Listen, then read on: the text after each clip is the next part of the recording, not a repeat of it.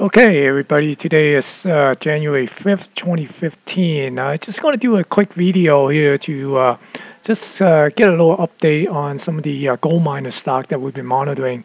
Uh, as you recall that I have put up this post on December 30th, you know, in my blog on the, you know, talk about a few potential setup.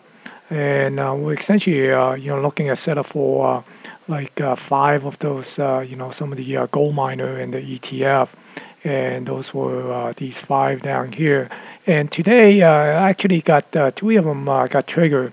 you know, we've been kind of waiting for that. And the first one I'm going to take a look at is the 2EX, you know, gold miner ETF, NUGT.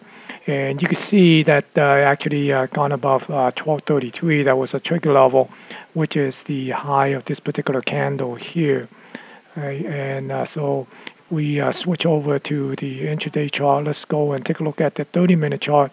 You can see how it uh, got triggered, and you know when it opened opened up, it kind of traded in the first 30 minute. Then on the second 30 minute, the first half, first hour or so, it came back down. So it kind of you know, fluctuating uh, between this, uh, you know, uh, this uh, 1233 level here. So if you got the uh, limit order or, or a stop, uh, you know, a buy stop order up at that level or a little bit above that, then you probably got got fill on that, and then probably you know, put some heat on you a little bit uh, throughout the uh, morning session as it pulled back. Then you kind of wonder, uh, is this trade going to work out? But as we all know, right, you know, once we get a trade, you got a trigger, all we could do is, you know, take the trade and just manage the risk. We have no idea it's going to work or not, and it's just a matter of uh, let it trade, and you're not going to find out if you don't take the trade, right?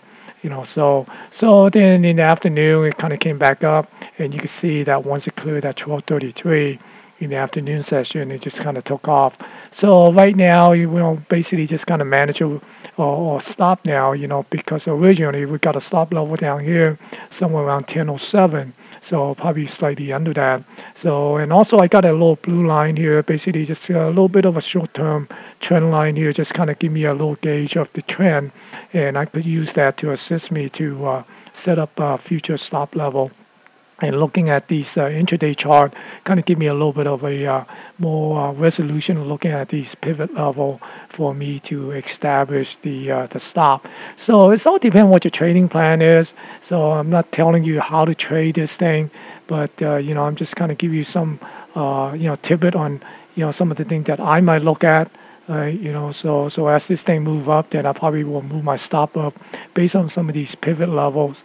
Okay, so right now, you know, NUGT is uh, basically moving up. So we're gonna just uh, kind of monitoring this thing and see how it work out, you know, in the coming days.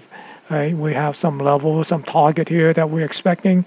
Uh, you know, kind of monitoring here is the uh, first target is somewhere around this 1674. So essentially, it will give us a two to one on and all. So we just have to uh, see how this work out when it come up and uh, maybe we uh, just let it run a little bit. So it's all depend again, you know, what your trading plan is. You might even take, you know, scaled out, you know, once it get up to one all or something, or you start tightening up your stop to the break-even point when it get uh, to a certain level.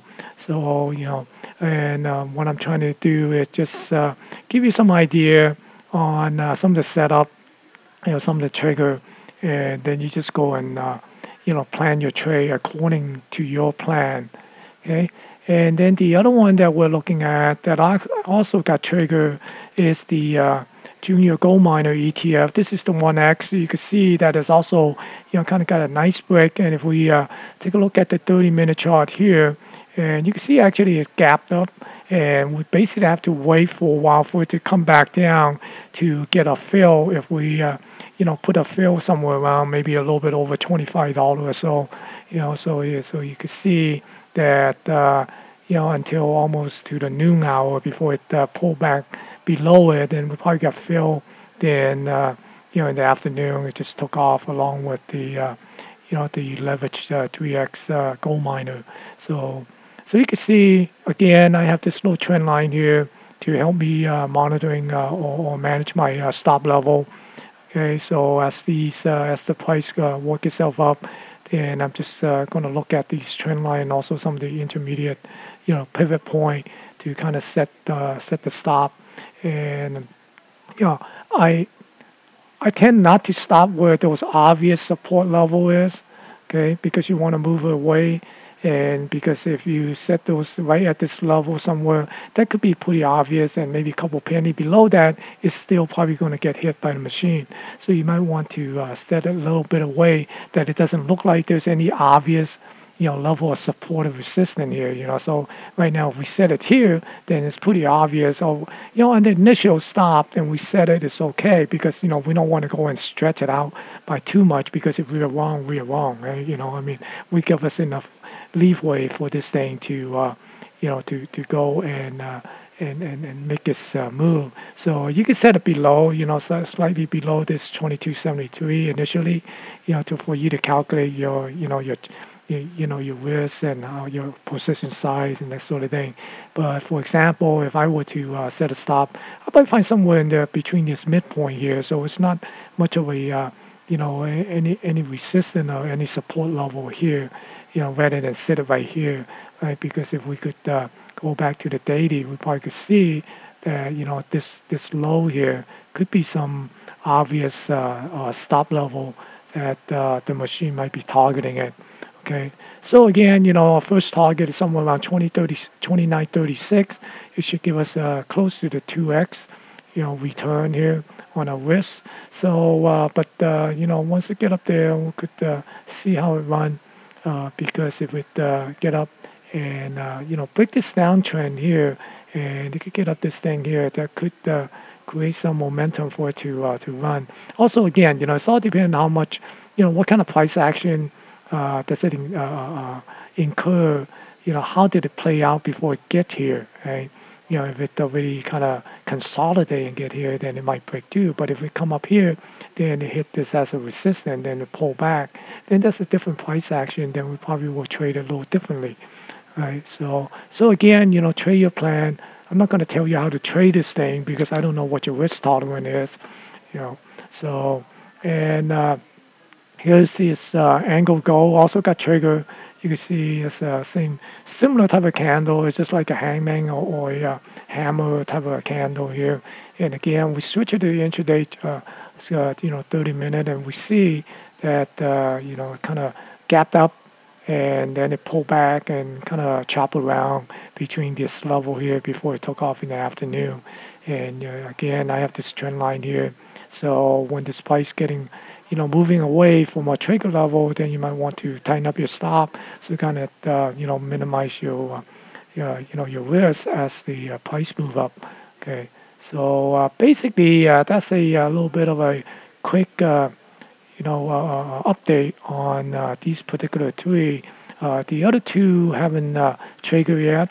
the, you know, ABX, the uh, Barrick Gold you know, so we're still waiting for this thing to trigger. But again, like I said, you know, in the previous video, you don't want to overload uh, too many of these uh, gold miner uh, uh in uh, you know in your portfolio because then then you're basically putting too much risk in one particular sector because they go they they basically all move in a similar you know uh, direction or or similar price action, right?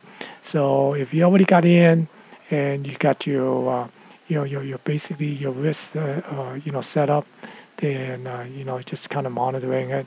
Even though you know let's say ABX you know Barrick Gold got the trigger and also your uh, also get trigger later on you know you're not going to trade those okay? So just trade what you already have established you know out of those three and just you know, just manage uh, any, uh, you know, that particular trade and just ignore the uh, trigger of this thing because you're just going to be uh, overexposed on your risk in one particular sector if you're going to take every trigger that comes along. Okay, good luck.